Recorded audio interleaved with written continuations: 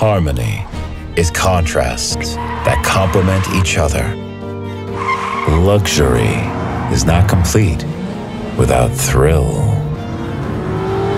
Dreams can't be realized without courage. Harmony is two parallel lines that meet only through.